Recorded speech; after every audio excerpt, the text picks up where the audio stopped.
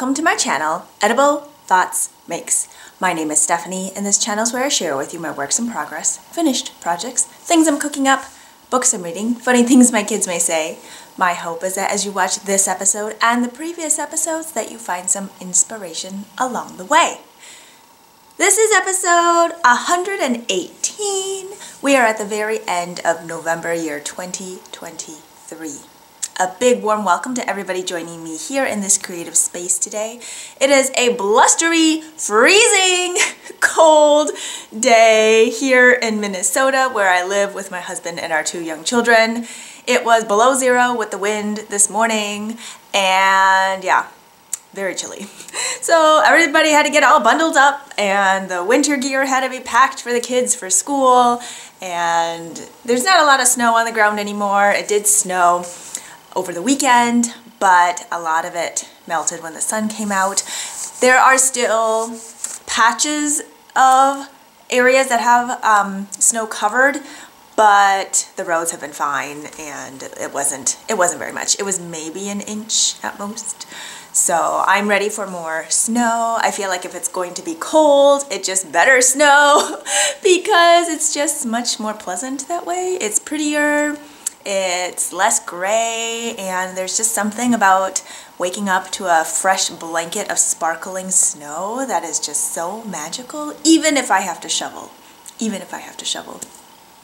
But yes, we are entering that magical season of sparkling snow and even when it's bitter cold, if there is snow, it is it is just that much better. I love all the seasons. If you are new here, I am a very seasonal person in the sense that the things I make are very much inspired by nature and the seasons and what is going on in my life at the time. And I feel like we stitch our memories and our intentions into all of our makes and whether or not that is consciously or subconsciously, but I feel like that that enters at least all the projects that I make there's a lot of intention behind them. I have quite an episode for you here today. It has been about two weeks and there is so much to share with you. Not only have I finished some items, but I have started many, many items. And yeah, just a lot has gone on in the last two weeks. Maybe you should back up a little bit. So if you are new here, the way I organize my episodes is that I start out with a little vlog, which is like a video montage of various scenes throughout my life since the last time I recorded. And then we go into an intro and welcome session, I, section, not session, well, kind of a session. And we talk about the weather because like I said, I'm a very seasonal person and I'm from Minnesota and people in Minnesota like to talk about the weather. so yes, we talk about the weather. If it is gardening season, there's usually a garden update. It is no longer gardening season, so there's no garden update.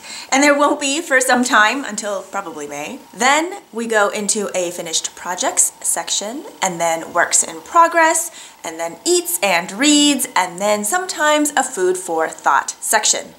I did jot down some notes for food for thought this time, but because I have this multitude of things to talk about, I may or may not get to that part if you've been around for a while, you know I also have these other little like short videos that I aim for less than 30 minutes called Maker Musings.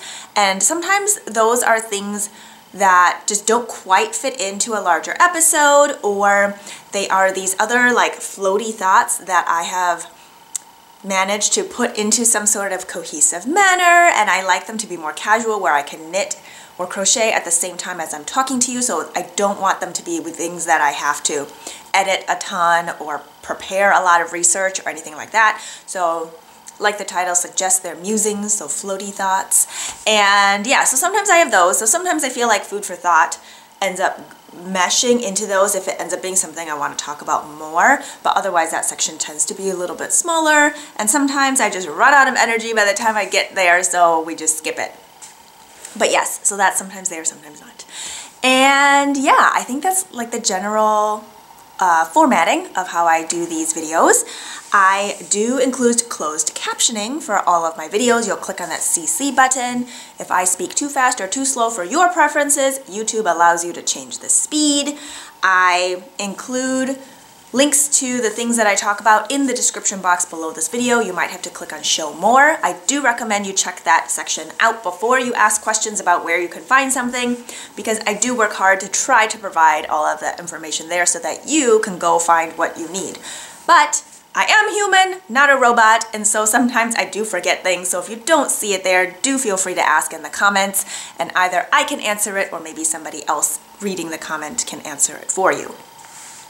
I do use Ravelry project pages. I do use Ravelry for all of my projects, and so there are project pages there for all crochet and knit items. Sewn items are not in there because it's not set up for that.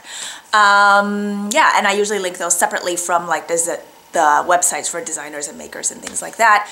And I do try to discuss majority, if not all or more of the details for the projects here on YouTube as another way to learn and share information. So I mentioned a lot has happened in the last two weeks, one being something I am very proud of.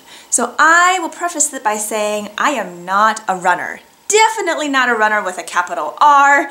I I won't say I detest running, but it's not like my first choice of physical activity. I can walk, I can hike, I'm okay with that. But running, for whatever reason, just uses muscles differently.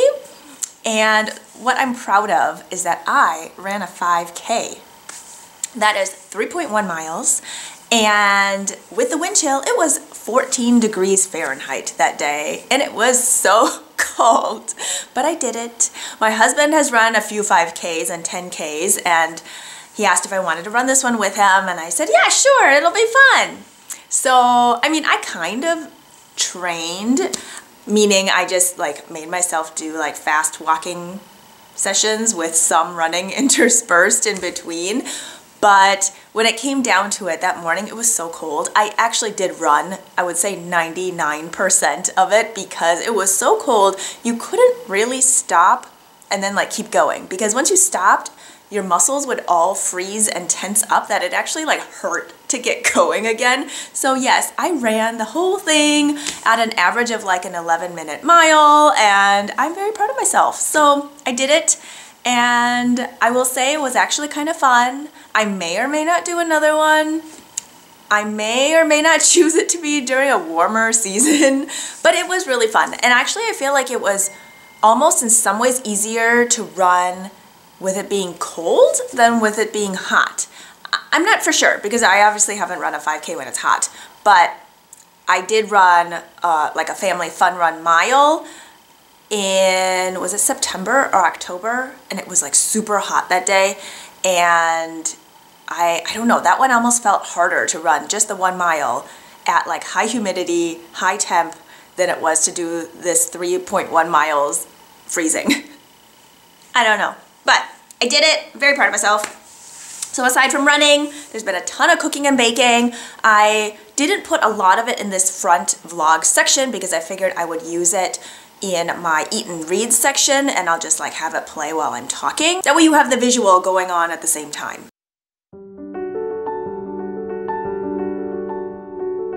We have several finished projects to share with you today.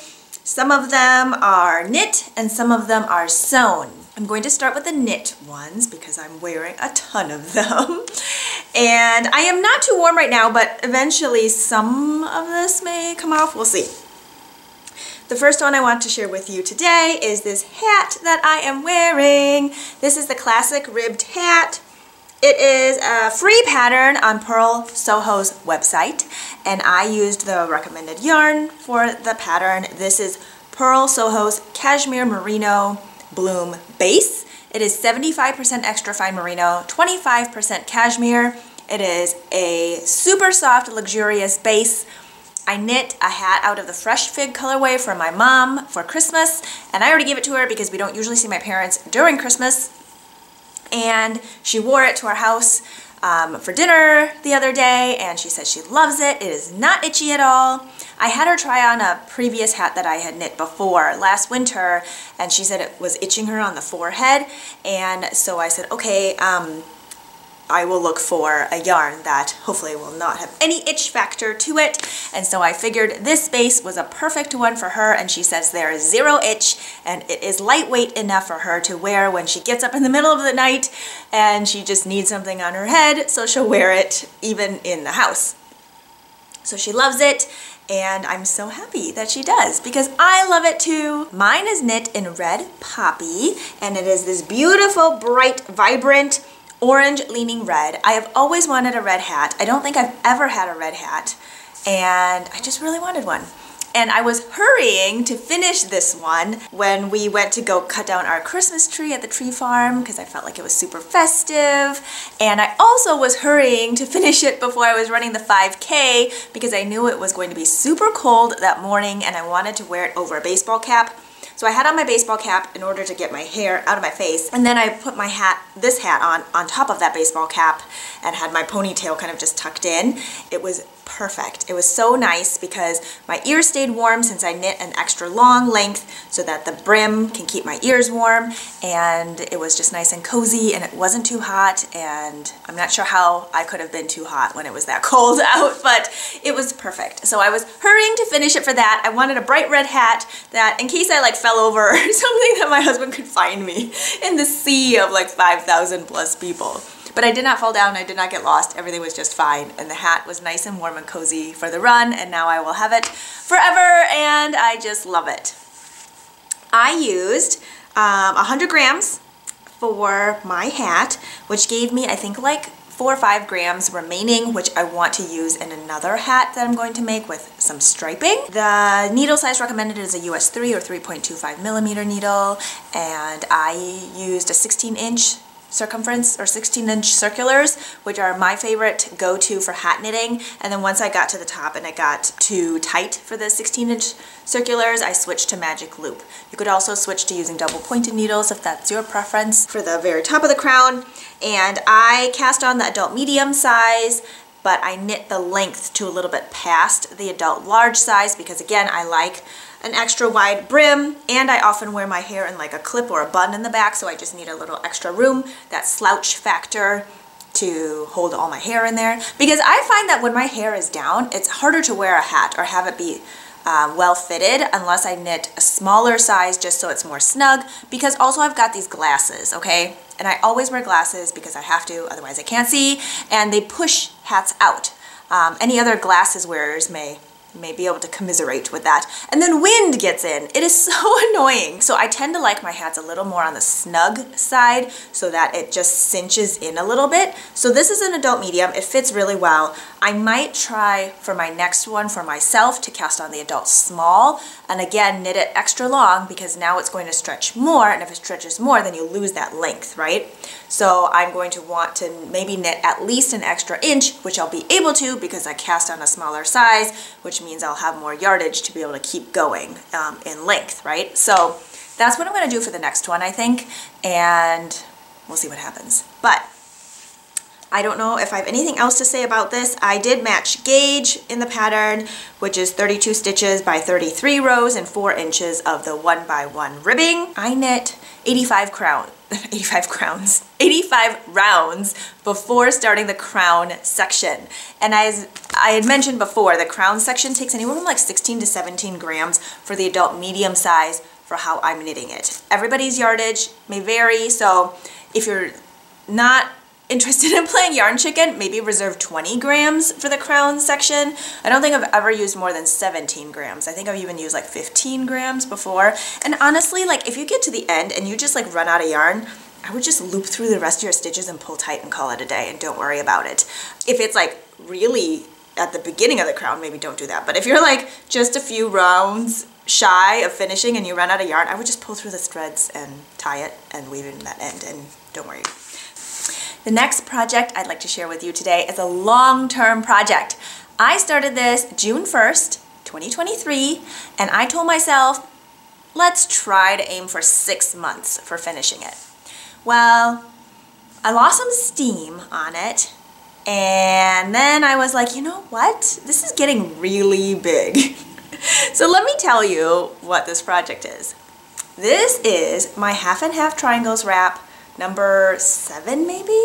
This is also a free pattern by Purl Soho and it is definitely a project that I recommend going into knowing it's going to be a long-term project and knowing that it is also something that you can pick up and put down whenever. Also, I feel like I always add this disclaimer, but since I haven't shown this project in months, I'm going to insert that disclaimer again. Sorry, not sorry. it is that even if you see or think you see a bunch of people knitting it, please don't feel like you have to knit it. Actually, you know what? I'm not even gonna tell you please because I'm not gonna tell you how to feel or not feel. I am just putting it out there into the universe that there are thousands of patterns for all different types of makers and I just don't feel like people should feel like they have to make whatever everybody else is making because that's just silly. So if you don't like knitting a sea of garter, don't make this one. because it is a sea of garter. If you enjoy knitting just back and forth knit stitches with the only thing you have to pay attention to is a wrap and turn or a German short row double stitch thing, then maybe this one is for you. So for me, it's been so nice because it is a project I don't have to keep referring to a pattern for. I can just pick up and put down whatever. It is next to my bed so that when the kids are getting ready for bed and they're taking their long, sweet time to get ready for bed, I have something I can be doing while I'm parenting and it just makes the process so much easier for everybody. and so this has gone through many bedtimes. This has gone through quiet mornings. This has gone through playing games with my kids next to a fireplace.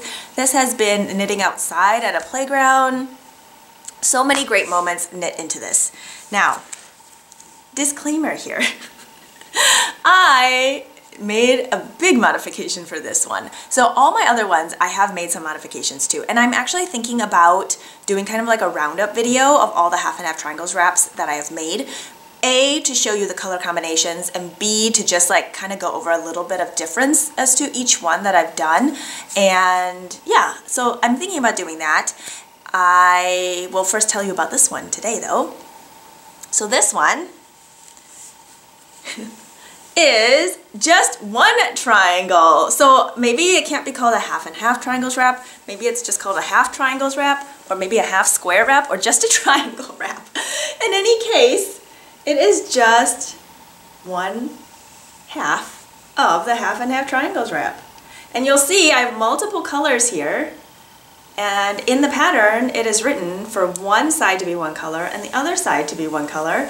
And I had decided that wasn't what I was doing this time. And so pattern uses US 3 or 3.25 millimeter needles. I decided I wanted an airier fabric for this one, so I cast on using a size 4, which is a, uh, I don't remember what that is, 3.5 millimeter needle and I cast on 260 stitches. If you are curious as to what the original pattern is, I recommend going to the website and reading it. It is like one page long, maybe less than a page long, so I'm not gonna go over all of the like things that are in the actual pattern. Um, I've talked about it many, many, many times here, so I just recommend you doing that research yourself.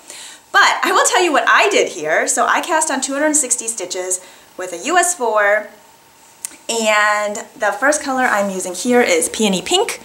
And this is the yarn uh, Linen Quill by Purl Soho. It comes in 439 yards for 100 grams, 35% alpaca, 15% linen, 50% fine Highland wool. So it's a fingering weight yarn. It is not super wash. The softness I think is soft, but the softness level I feel like is subjective, so some people find it soft, some people don't. There are kind of long hairs sticking out on it, so if that's something that would bother you, then maybe this is not the best yarn for you. The linen doesn't take the dye the same way, so on the darker colors you'll see more of a heathered appearance with the linen fibers showing through, and it's not as visible on the light, um, lighter colors.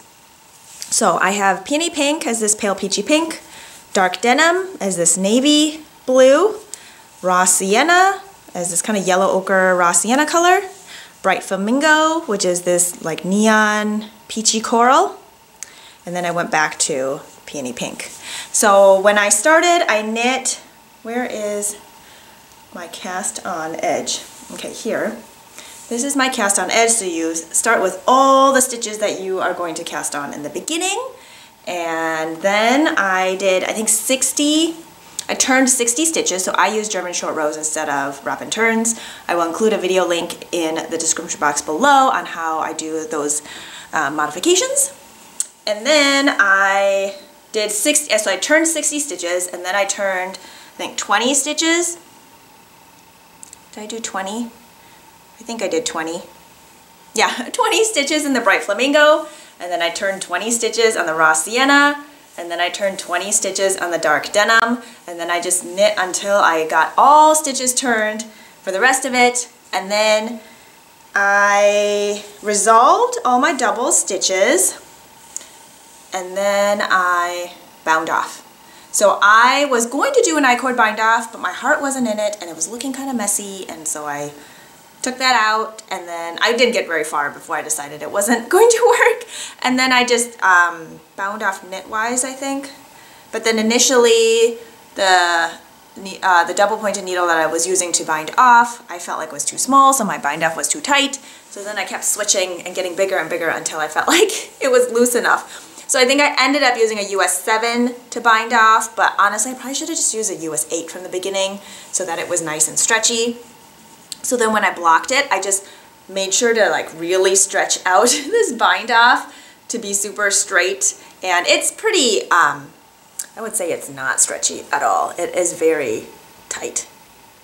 So it doesn't bother me when I'm wearing it, um, like draped over my shoulders or around my neck. I feel like that bind off is just fine. And I guess if I wanted it to look any different, I could just pick off, pick up the stitches I bound off and then do an I-cord along that edge. But honestly, I think it looks very nice. I like, I like how tidy that is.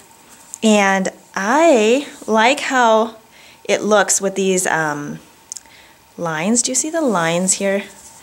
So that's actually on the right side is showing these little lines. And, oh, you know what? I didn't even mention what I called this. So feel like I'm a little all over the place, sorry. This half and half triangles wrap I named love letters from the very beginning. I name all of my projects, all of my half and half triangles wrap projects. And so this one's called love letters. And something that I really like about the, how the lines show up is that they remind me of like when you're writing and you go dot dot dot at the end. And it also makes me think of lined paper. So, oh, there, now you can see the, the little dashes better. And that just came from resolving the double stitches and then binding off. So I really like how that looks. I think that looks really cool. And then this is technically the wrong side of the wrap. And again, you can see the lines there. It's just from Knitting Garter and how that reverse side looks, but I really like it. I think it looks like, you know, the dot dot dot and lined paper. So I feel like I can wear this on either side. I wove in my ends pretty carefully so that it's not super noticeable where I wove in my ends and I just really like it. So it's this gigantic triangle. I can wear it over my shoulders as is or I can fold it in half and then wear it more like a cowl or scarf and just tuck the ends in and I can play with it a little to get the colors to show as I want them to and it can still cover the back of my neck and be plenty cozy. And maybe I should share how much yarn I ended up using. For the Peony Pink, I used 187 grams. Bright Flamingo, I used about 28 grams. Raw Sienna, I used about 26 grams. And Dark Denim, I used about 24 grams. So if you'd like to do something similar, those are my estimates. Well, those are not my estimates. I weighed them, so those are like the actual weights, but those are estimates for you to play around with if you wanted to do something similar and you have linen quill yarn remaining from previous projects. And maybe you have less than the amounts that I mentioned, so you could just knit until you ran out for each color block section and then just add on another color if that's what you wanted to do. So I am super pleased with how this turned out. I really like the color combination. I feel like it gives it kind of a modern but fun, whimsical look to it. I feel like it's the way the blocking of the color stripes are, but also the color combination that makes it look really cozy, but also vibrant and fun and festive and easy to kind of match with anything. Right now I have on jeans, so I feel like the dark denim works really well with that. I'm not sure if I'm standing up too high to see that. Maybe if I hold it down this way. There, maybe. Is that visible? I'm not sure. And then the bright color is really nice because in the winter it can be really gray, so just having that pop of bright is nice. I love this raw sienna color. I feel like it's a really nice neutral that just warms everything up and then the peony pink keeps things light. So super happy with how this turned out.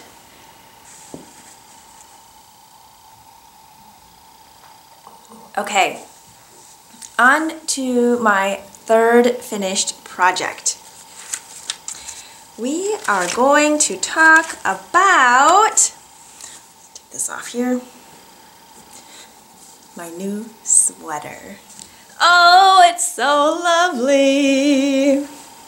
Okay, there. I'll back up a little so you can see the whole thing. This is the Ranunculus by Midori Hirose. This is my fifth ranunculus. I just love how this pattern knits up. The process is enjoyable, the final product is enjoyable, and I have made several modifications to all of the ones I've made. I'm also thinking about making a video on all five versions of my ranunculi and I think that could be a fun way to show how each one is really its own and I used different yarns for each one and different modifications and different different ways of wearing them. They have different purposes. They serve different purposes and I really wanted a wintry one, a really warm, cozy, wintry, long sleeve, long, full length body one, and this is it. So I used the yarn Yonder. It is a new base offered by Purl Soho. It is Aran weight at 140 yards for 100 grams. And it is, let me see if I have a tag here. Uh, here we go. It is 50% alpaca and 50% Highland wool. It is not a superwash yarn And the colorway I used is Smoky Mauve. And it is so soft and drapey and it feels, it feels very round knitting with it and it has great stitch definition for a nice textured yoke for the lace and the texture sections to really be showcased. And I feel like this yarn has a nice heathering to it and it's more visible up close to see the subtle color shifts but this smoky mauve color is like a um, I would say a lavender hued gray and because I used an Aran weight to knit this pattern it is not super gapey or holey because I feel like in the original pattern the gauge is I want to say 14 or 15 stitches. I should pull it up. I knitted at 15 stitches for four inches but I want to say the original pattern is 14 stitches maybe. Uh, let's pull it up here. And with that big of a gauge it really allows you to use a variety of yarn to achieve a variety of different fabric densities. And I have done that with a lot of my different um, sweaters for this. And let's see here, yeah, 14 stitches. And the recommended needle size is a US 10 or 6 millimeter. I used a US 9 because that's the fabric I wanted. And for the ribbing, I used a US 7. For the neckline, I used the US 9 as well, but the rest of it I used a US 7. And this is a paid for pattern, so the details I'm going to share with you are ones that don't give away information from the pattern, but I'm not going to give you like specific stitch counts of anything because that would be in the paid for pattern. So for the neckline, I changed it up. I used, so I used the US 9 to cast on with the stitch count in the pattern. And then I just use an old Norwegian cast on. That's what I chose. That's my mod for that. And then I went into the ribbing.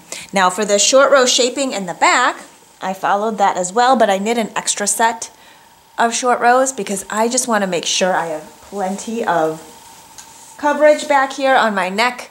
I don't like a cold neck. And so that's the change I did there. And then I omitted the short rows that are done in the front section.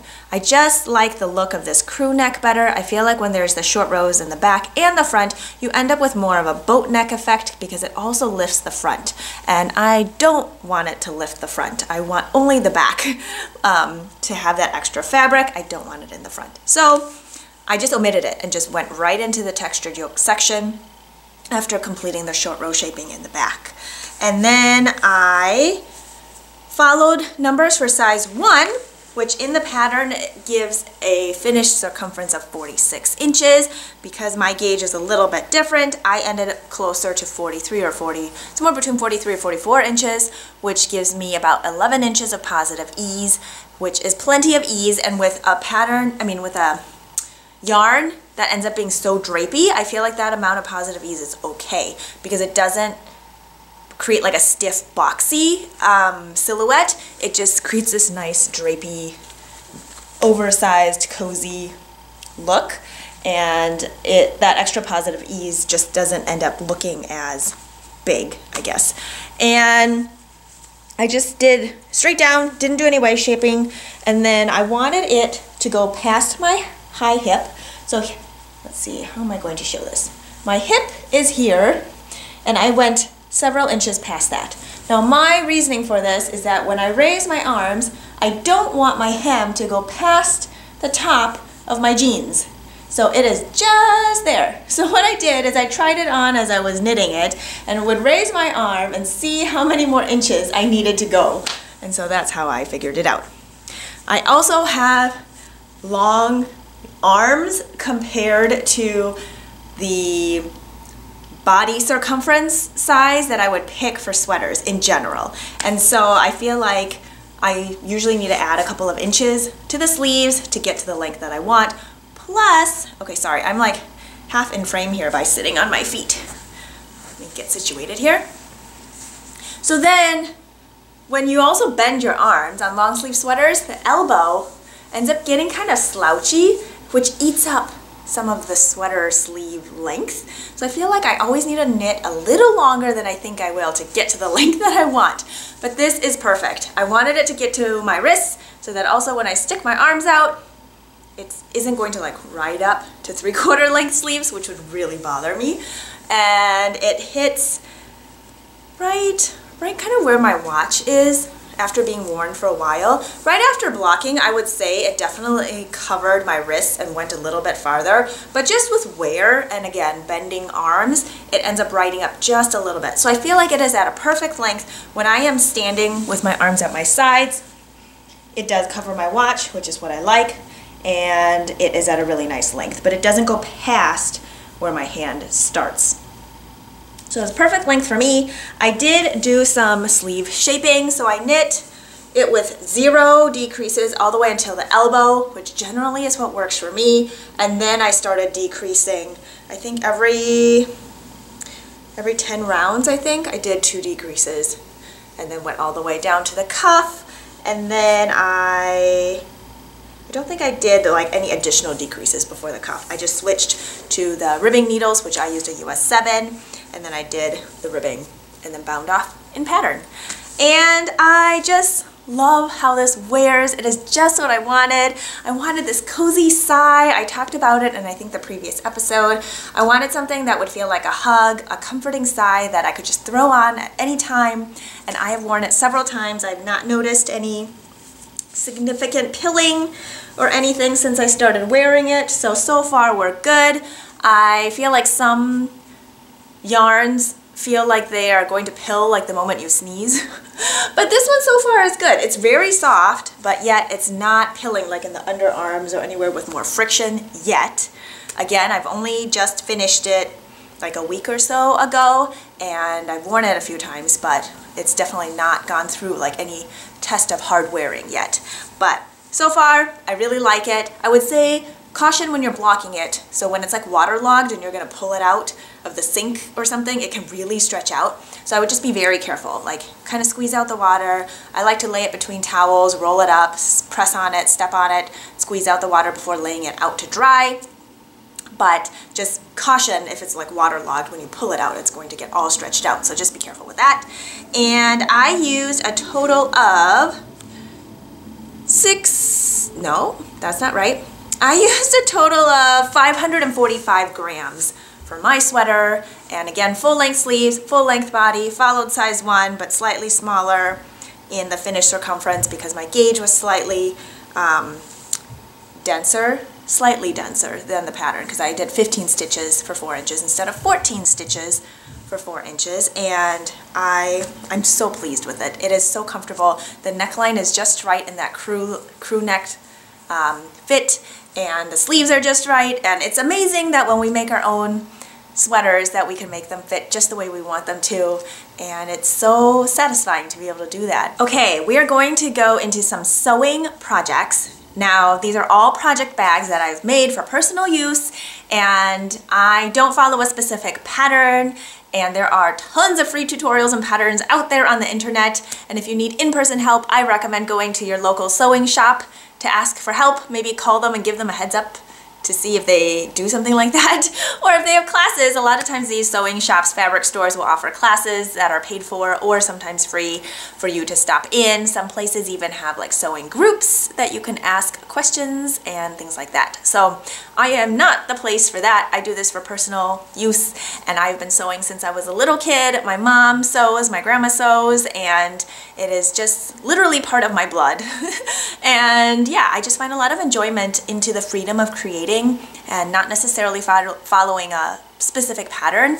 And then that also means I can use whatever cuts of fabric I have on hand or I don't know, just do whatever I want. So that's what I'm going to show you, are bags that I've made because I felt like it. Let's start with, maybe, should we start with, okay, I'll start with this one. Oh, it's so fun and fits the mood. We have these woodland creatures and if you are curious about fabrics and things like that, I have a Maker Musings video here on my channel that I'll link to that talk about my thought process and where I get fabrics and stuff, but I get them all over the place. This specific one I got at Joann Fabrics and they had a sale on their canvas. And this is a, more of a lightweight canvas. It's definitely not crunchy but it gives good uh, structure. And then I do use fusible fleece interfacing which gives it extra extra structure and squishiness. And so I did a boxed bottom for this one and I have cotton webbing handles. And then I did something fun on top which is nice because then the entire tote bag doesn't scrunch in and you lose like three inches of space on top.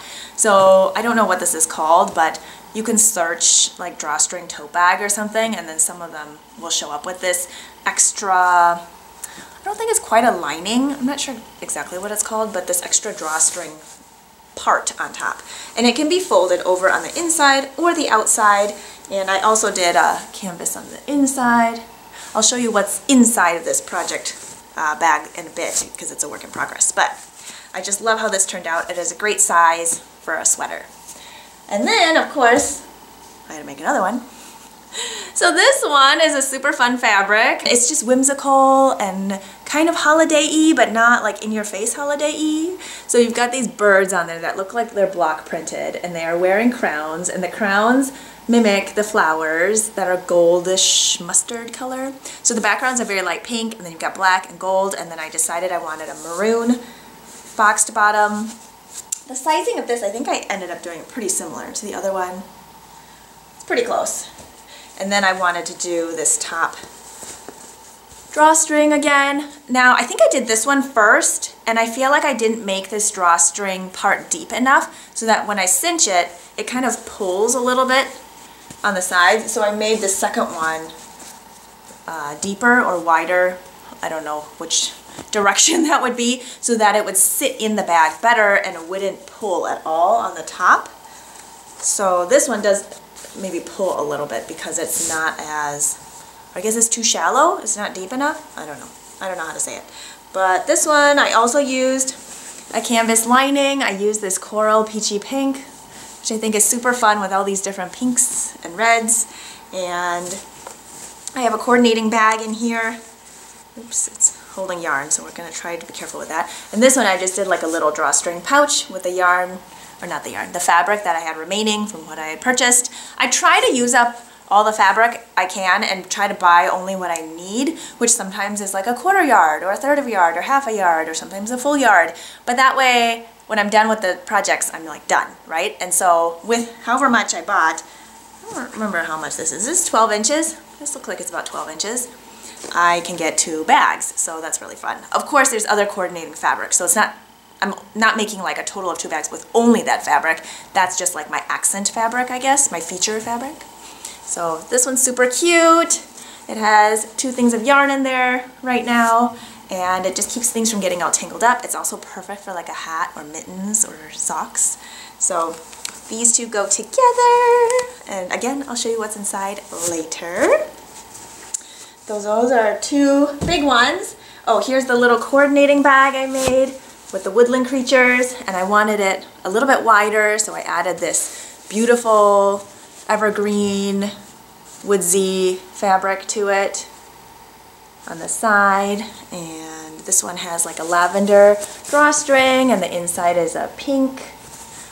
And this one also has a work in progress in it so you'll see that in a bit. But I just love the deer and the hedgehogs and the birds and the flowers. Oh it's so lovely.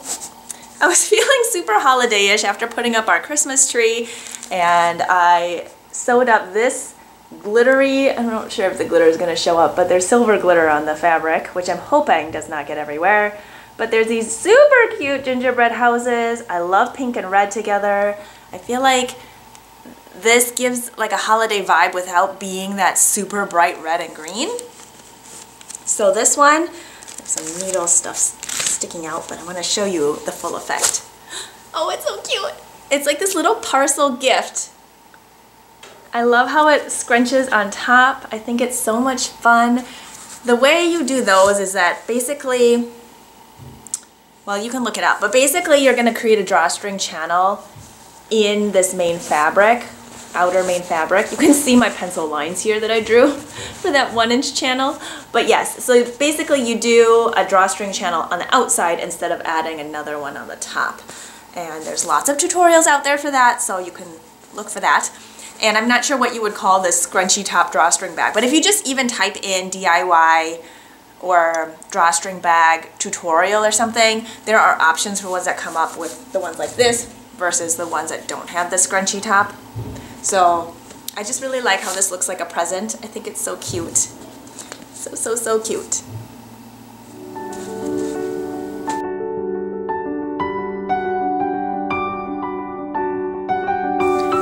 We are done with finished projects and now we are on to the works in progress section. As you can see, there are several works in progress to share with you. This is a classic ribbed hat that I'm knitting for my husband. So now that I have mine done and I had him try it on, I know what size to knit for him. He, his head circumference is bigger than mine, but he also likes his hat's very snug and he has less hair than I do and so it takes up less room. So he also likes the adult medium. So that is what I am casting on for him. And the colorway I am using is True Turquoise. Here is the tag on the screen. I am using the Cashmere Merino Bloom. He said it's super soft and really nice and he totally deserves a really nice hat. And so this one is True Turquoise. I I was going through the hat bin and realized he has another hat that's very similar in color out of Farmer's Daughter Fibers yarn. But hey, you like what you like, right? So here is the yarn. It is a lovely bright turquoise blue color. And I have just started. So here we are. It is knit bottom up.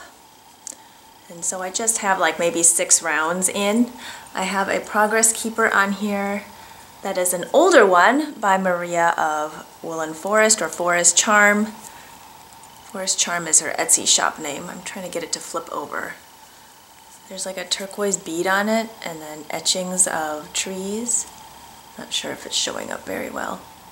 And then the stitch marker here, I believe this is Amazonite bead. I might be wrong. And then I have these light bulb stitch markers on here so that I can mark every 10 rounds. That way I know when I am up to 85 rounds and then I will start the crown. So that is that. I keep this project in my purse for when I'm waiting for the kids for whatever and I'm just sitting in the car. It is easy knitting that I can pick up and put down whenever and so for the kids' various practices, lessons, or whatever the case may be, it is just something I can keep in my purse and just work on whenever. Ideally, I would have it done by Christmas so that he can wear it for the winter season, but I'm in no like hurried deadline. I feel like that's the case for most of these projects here. It'd be great to finish them all in December, and some of them are smaller than other projects, but oh wait, nope, I lied. Two of the projects I'd like to just finish in the springtime. The rest of them I would like to finish in December. I think. Something like that. Anyway, moving on. Second project. Hmm, what's in this? Oh, I know what's in this. Okay, actually, yeah, we'll go to this big bag next, okay? This one is a sweater I am knitting for myself. It is the Chalet Days pullover by Samantha Guerin, and I've had this pattern for a little bit now, and I've been really itching to cast it on, but just didn't make time for it, and now I've cast on, and I'm so excited. It is a worsted weight sweater, and I am using, for my main color, Knit Picks Wool of the Andes. It's a non-superwash worsted weight yarn, 100% Peruvian Highland wool. It comes in 50 gram skeins that you do not have to wind. I tend to wind it anyway because otherwise it's like flopping around in my bag and I don't like center pulling because it just makes a mess at the end. And this comes in 110 yards for 50 grams. The colorway I am using is Rooibos Heather and it's just this beautiful reddish brown with heathering which gives it great dimension. I love that because it is not hand dyed. I have no alternating of skeins to worry about. I basically just knit until one runs out and continue. My contrast color, because it is a colorwork sweater, is hand spun by a friend of mine. She was so sweet to share her hand spun with me Here is the tag that she wrote so I could figure out what is what. Thank you so much, Salena. You are incredibly talented. So it's this deep teal with gold and brown. Hopefully it is not getting blown out too much here. And it is very vibrant and very colorful. Maybe if I hold it back a little bit, it's a little more accurate. And I just feel like these two colors together create a very maybe hobbity vibe, which I am here for. And it's so cozy and so earthy and very Christmassy and holiday-ish. So this is going to be my Christmas sweater if I finish it in time. If I don't finish in time, it is, well, that's okay. so I'm gonna show you what I've got. I'm working on the yoke portion. And the pattern does have you go back and pick up for the neckband, but I decided I didn't want to do that. So I just started with the neckband. and because it is a worsted weight sweater, so I can see the reason for wanting to pick up the neckband later for additional structure since all the weight is hanging on that cast on edge. But because the yarns I'm using, even though they're worsted weight, they're pretty light, I decided I'm not gonna worry about that part. So it's a little scrunched up. It is on slightly bigger cables, but it is still a little scrunched up, just the nature of a large yoke. Hopefully it doesn't get blown out too much, but I have uh, stitch markers marking my color work repeat section so that if I mess up, it's a lot easier to tell where I messed up. And so here we are. The contrast is coming out much brighter on screen than it is um, when it's not being blown out. Maybe I can adjust that. I'm not really quite sure later, but you will either be seeing it very blown out or not. So it is not super high contrast and there is enough contrast though to see that there is color work there and I just really really like how it's turning out. I feel like the teal is a nice pop and the golds add extra dimension in it and it's just lovely. So that's where we're at. I'm going to show you my floats on the back. I have not had to catch any floats so that's really nice. Samantha does break it up between whether you have your main color as a darker color or your contrast color as a darker color, which I super appreciate because I'm that person that gets super confused and will just mess it up if I have the opposite of whatever the designer's sample is in. So having the option of choosing which color work chart to follow is really helpful. There are three color work charts. It's just how the motifs are sectioned out, which is actually really nice too because then you have like mini milestones. You can be like, this week I'm doing color work chart A, next week I'm doing color work chart B, third week I'm doing color work chart C, you know, however way you want to do it. But I'm really enjoying it. I love knitting color work. I knit my color work with two hands and the contrast color I will have hold, have held, have, I will hold the contrast color in my left hand as the dominant color and the main color will be in my right hand. And so yeah, that's how I knit my color work and I always stretch out my stitches on my right needle as I'm knitting which gives it extra space so there's never any puckering involved. And then sometimes I go up a needle size for the color work, sometimes I don't. I did here but I'm not sure if I really needed to, especially if I'm also stretching out the stitches. So we'll see how it turns out. There will definitely be no puckering because I'm doing all those things to prevent it, but sometimes I wonder if I overcompensate. Yeah, well, we'll see what happens. I did choose the second size in the pattern, which is a finished circumference of 36 inches, which should give me about 4 inches of positive ease, which is in the recommended Re recommended ease of the pattern. Chalet Days comes in nine sizes and it starts at a 32 inch finished bust circumference up to a 64 inch bust circumference. And it recommends uh, 2 to 4 inches of positive ease. And yeah I am excited about how this one turns out. I plan on knitting it to be full length so past my hip and full length sleeves. And it's going to be so lovely. And it's worsted weight at a gauge of 19 stitches for 4 inches. And depending on how much focus I put on it, I should have it done by Christmas, but we'll see what happens. The next project I'd like to share with you is a sweater that I am knitting for our seven-year-old.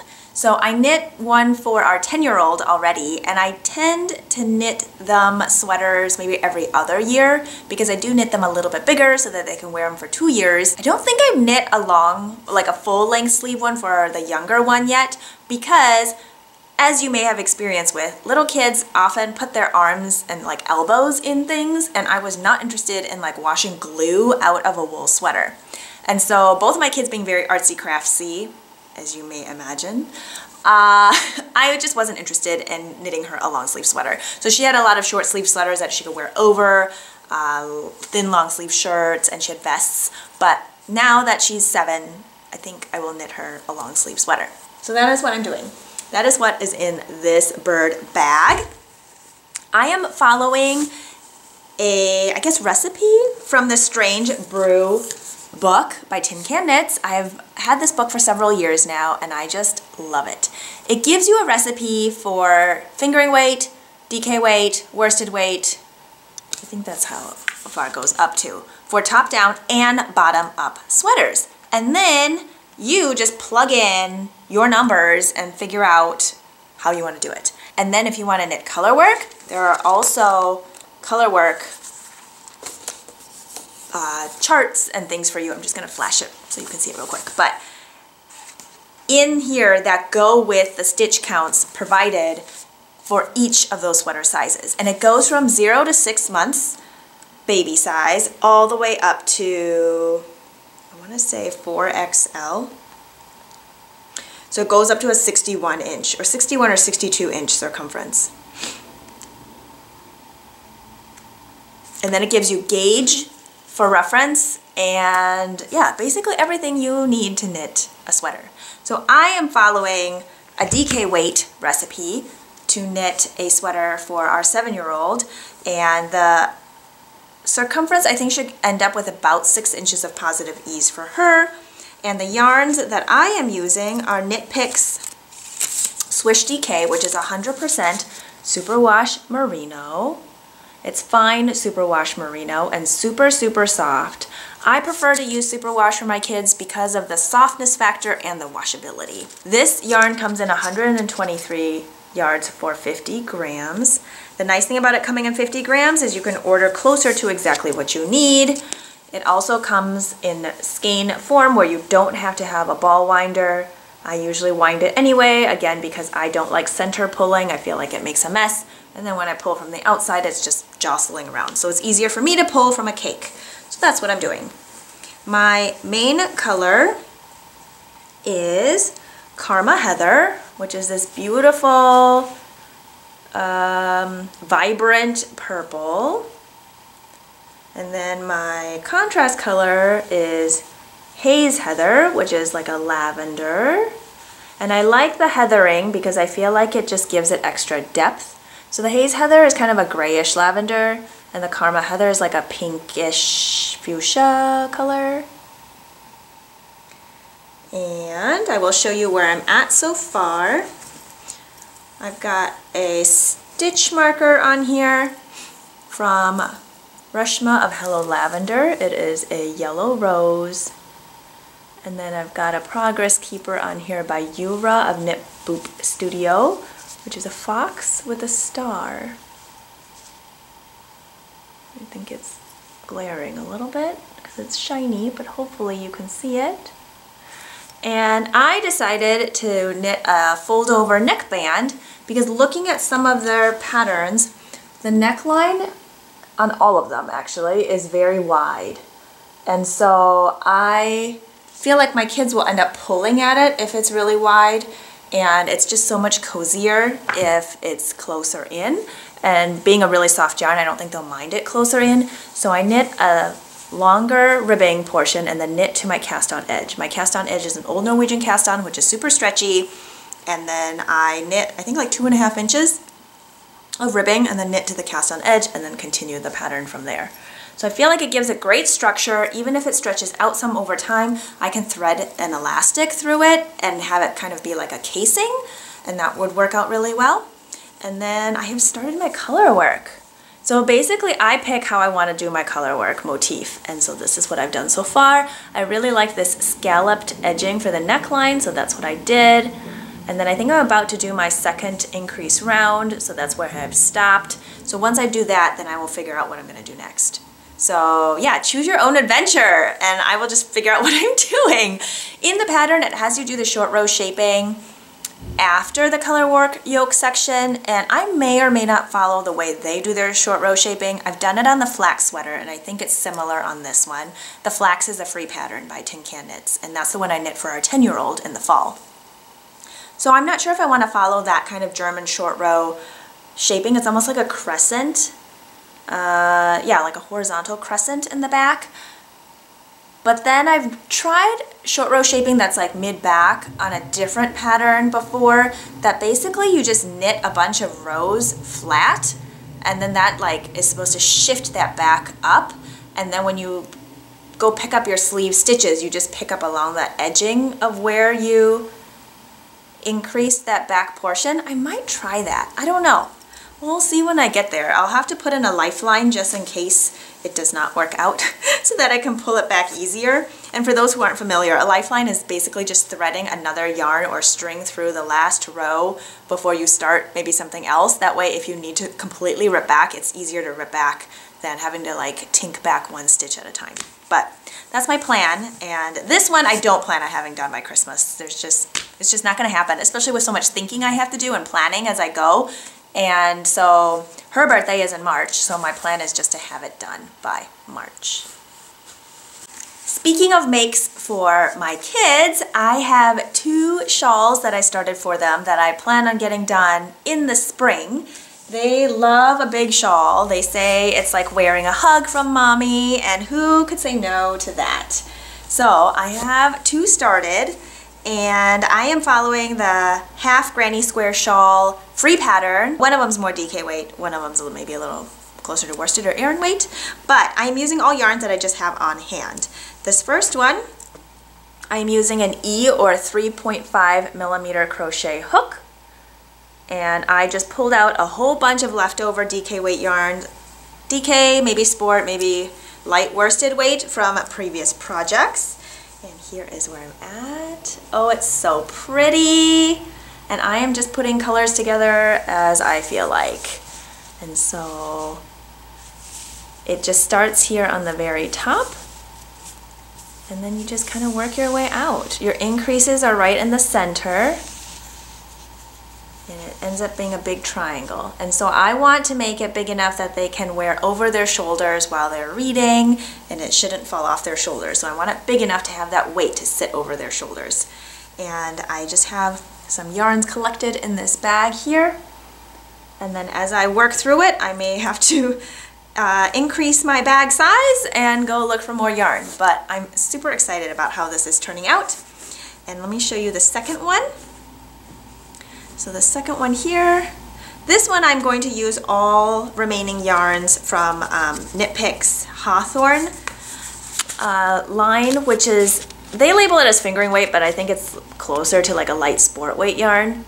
But I'm going to use all yarns from that. It's at 357 yards for 100 grams, and it's 80-20 super wash um, fine Highland wool and nylon. And so, I'm going to show you where that one is at. And, oh, the hook I'm using is a G, which is a 4 millimeter for this one. And here we are. This one's super fun also. And I'm just really excited about how it's turning out. So this one has a little bit of speckling on top. And then it goes to some like semi-solid tonal colors. But yeah, I'm just also just joining it as I go. I'm doing Magic Knot and there's lots of tutorials out there for magic knot balls so you can look that up. And then I'll just tuck the ends in. I don't like cutting it so close to the end which is what you're supposed to do in a magic knot ball but I just don't trust it. And so I just leave on a little bit of the end and then I will just weave it into like one of these stitch stitch parts so that it doesn't peek back out. But yeah so this is where I'm at with these and I have a long way to go, but crochet works up very quickly and I I just work on these whenever, whenever I feel like it. And I like having different projects going simultaneously because I feel like it uses your hand muscles a little bit differently, especially with needle sizes that are different sizes, projects that are different sizes. It just keeps the fingers and hands moving a little bit differently so that they don't get tired out or sore and it's just nice to have that variety. I have just a few more left to share with you. One of them is a set of gift knits for two little girls who are very special to me. And I am knitting them fingerless mitts for Christmas. Here is the first one. I have just scrap yarn on the thumb stitches right now. So I need to just knit the ribbing on the thumbs really. But I'm following the World's Simplest Mitten free pattern by Tin Can Knits and modifying it for fingerless version. And they're so cute. You cast on from the cuff and I am knitting them DK weight so I used US 3 or 3.25 millimeter needles for the ribbing and then I cast on 34 stitches I knit knit one purl one uh, ribbing for 16 rounds which is about two inches I think pattern says two and a half inches but this one is for more of a toddler, but I'm using the child size, so I'm just making it slightly smaller. And then I switched to a US 5 and I knit five rounds before starting this gusset portion. The pattern might say just to do three rounds, but I feel like this section always needs a little bit more. And then for the make ones that I do in this gusset portion, I did all make one lefts. That is showing up close.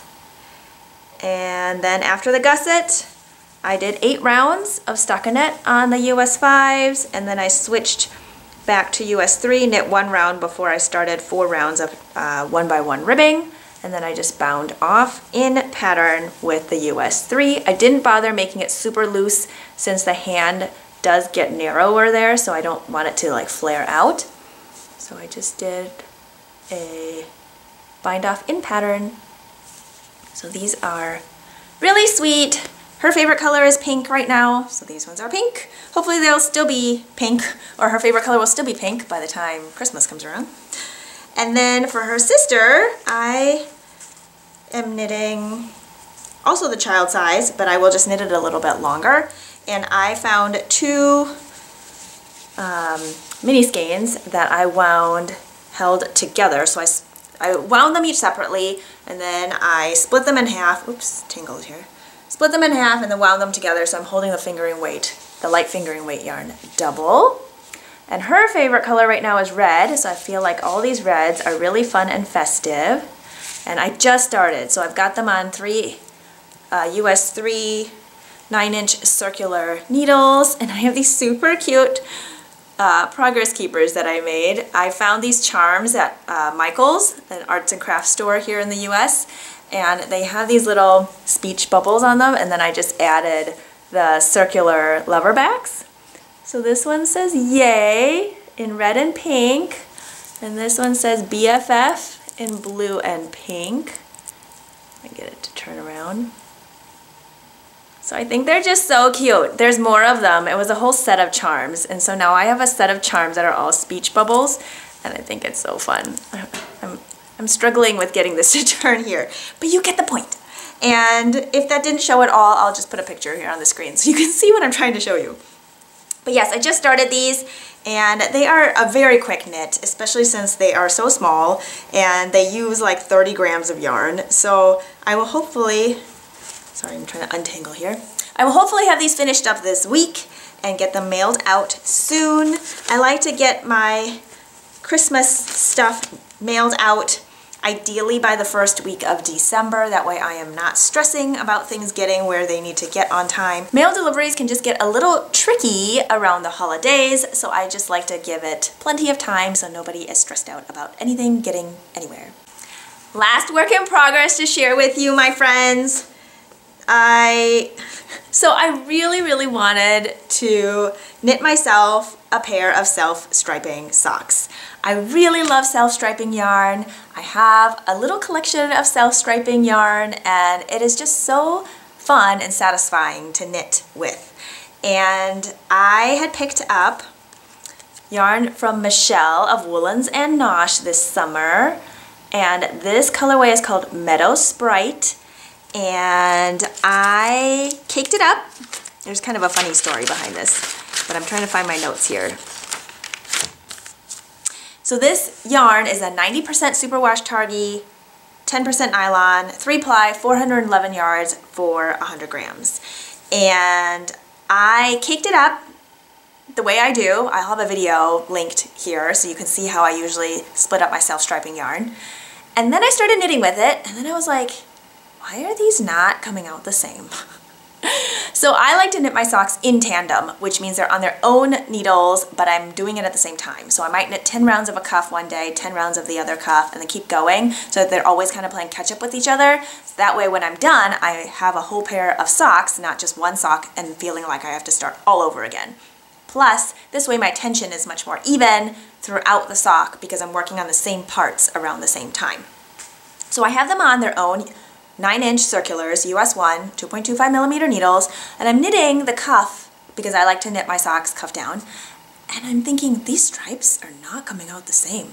What is happening? Because I started both of them on this mauvey pink stripe, and I'm gonna show you what it looks like because it's, it's, it's a little funny. Okay, let's see, let's get these out. Okay, are you ready? So here's one. It is so cute. It's got this mauvey pink and a brown and a cream. Now here's number two. Hmm. Mauvey pink, brown, cream, navy, scummy green, and then pink. What is happening? Before I show you what is going on here, I'm going to show you the progress keepers I have on here because they're so cute. These are by Maria. Here is a teacup and saucer, a bronze teacup and saucer. And the other one has a crescent moon and moonstone gemstone on it. And now I'm going to flash a picture from the website of Woolens and Nosh, how the Meadow Sprite colorway knits up. And as you may see, the striping is not the same throughout. So you'll have the color sequence going, but you've got like a block or a chunk of the stripes where they are more color blocked and like bigger stripes, and then a section where they're like thinner stripes. And I didn't realize that when I was winding it, or I just forgot. And so now I have one sock starting with the thicker stripes and one sock starting with the thinner stripes, which I actually think is kind of fun. It gives it more of like a whimsical effect and I'm, I'm for that. So it'll be just fine. I haven't decided for the heel if I want to insert a contrast color. I think if I put in like a hot pink, that would be super fun. Or a gray if I wanted it a little more neutral. But we'll see when I get there because I'm also going to have to figure out where in the striping sequence that's going to happen. So if it's going to be like between a big stripe or like between stripes because I'm going to have to figure it out so that they end up with the same length of leg uh, before I start a heel. So I haven't decided on that and I haven't decided if I want to do a slip stitch heel flap and gusset or if I want to do a shadow wrap heel and yeah we'll just kind of see where I go with that. The, there is no deadline for this project but I do have other Christmas socks that I also want to cast on. So if I could finish this by the end of this month, that would be fabulous because I have more socks that I want to make.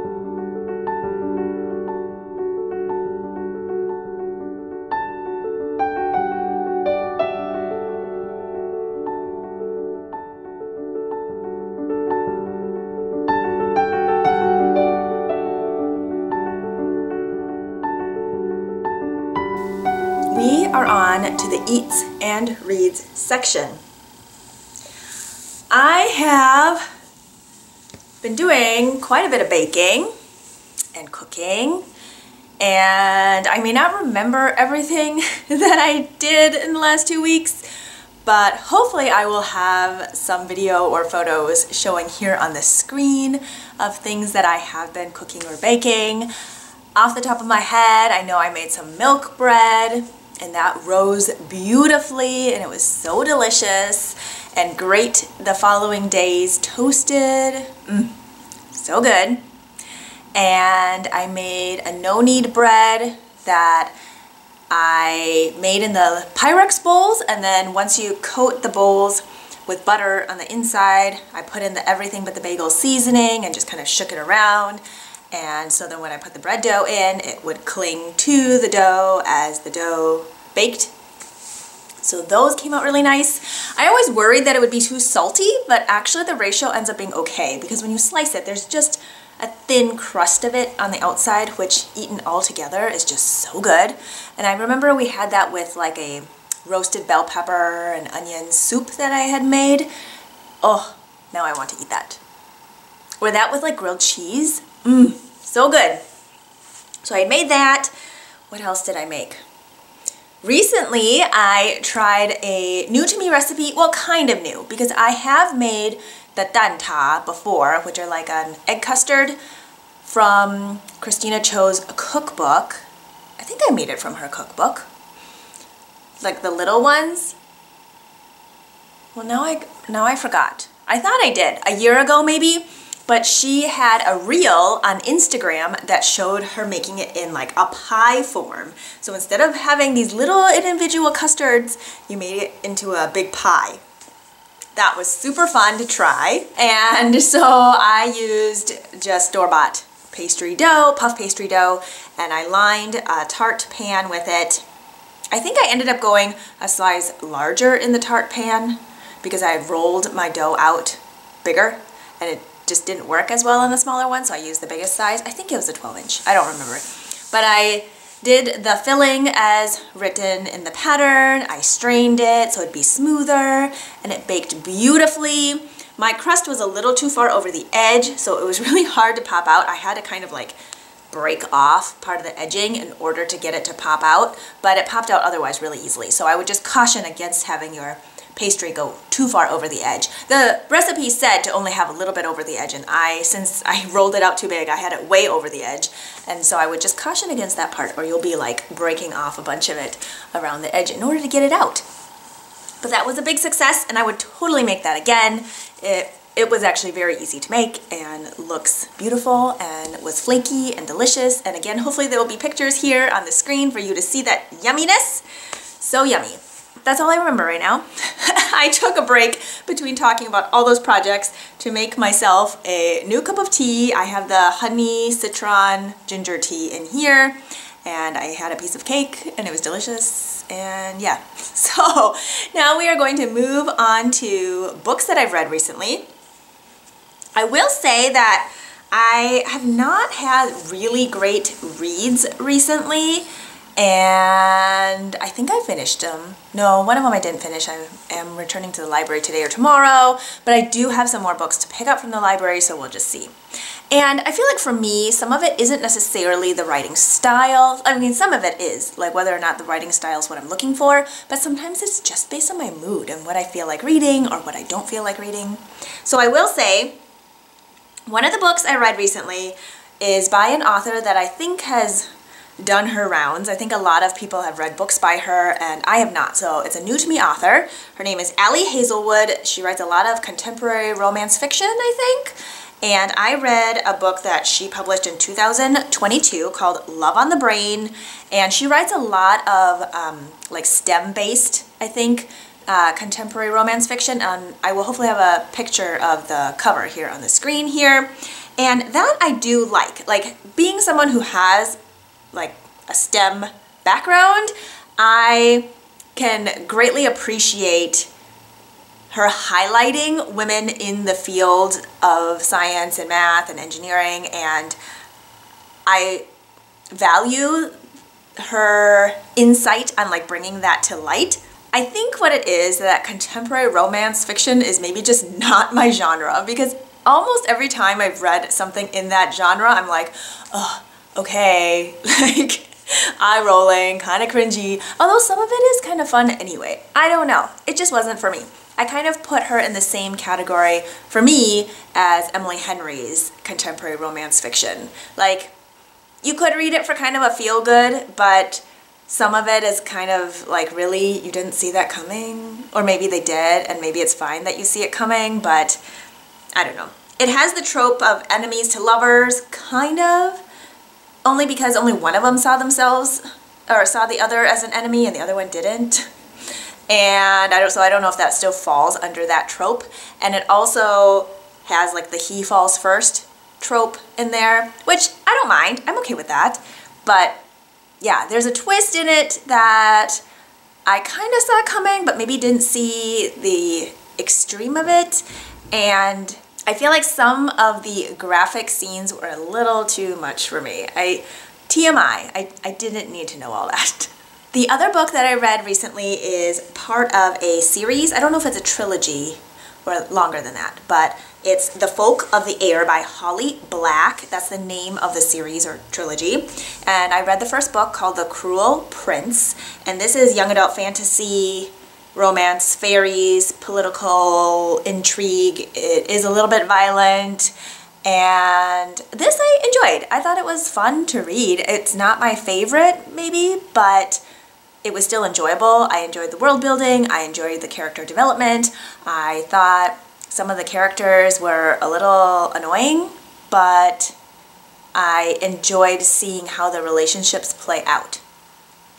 That being said, I am going to pick up the second book and we'll see where it goes. So I'm enjoying it enough to keep reading. I enjoyed it enough to finish it and I would like to read the next one. So we'll see where I go with that. I started a third book, but I didn't finish it, and that one's going back to the library. Belladonna by, I think, Adalyn Grace, and it's kind of, I think it is considered YA, fantasy, romance, gothic fiction, maybe? There's a lot of death in it. In fact, one of the characters is death, and I just couldn't get into it. Uh, there's like a lot of botany stuff in it, which that part I like, but I'm just not, I'm not feeling it. I'm not feeling really connected to any of the characters. I'm only like a little bit into it, but I will not keep reading a book just for the sake of hoping it gets better. I need it to like grab me in from the beginning. So yeah, returning it. So that's where I'm at with my reads and I do have some other ones to pick up so we'll see where I get with those in the next couple of weeks. Are you reading anything fun right now? Do you have certain genres that you always go towards or do you like to jump around? I jump around a bit but in general I really like young adult fantasy books.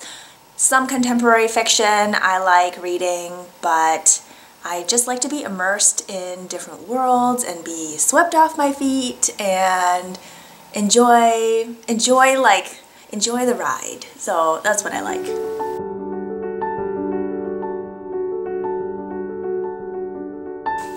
We made it to the end, my friends. This has been a long one. I just had a lot to share, a lot to say, and I hope that if you were able to, you were able to watch in sections just so that it wasn't too much information at once. You can do as you please. It really, you know, do whatever works for you.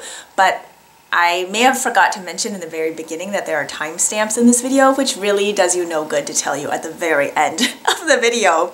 But hopefully you found that out if you looked in the description box to see that there are timestamps for the different sections. Oops! Sorry, I forgot to mention it. This is the food for thought section and I'm just gonna leave you with a little, a little something to think about. It's not even really homework unless you want it to be homework. My thought to impart to you today is be gentle. Be gentle to yourself, be gentle to your loved ones.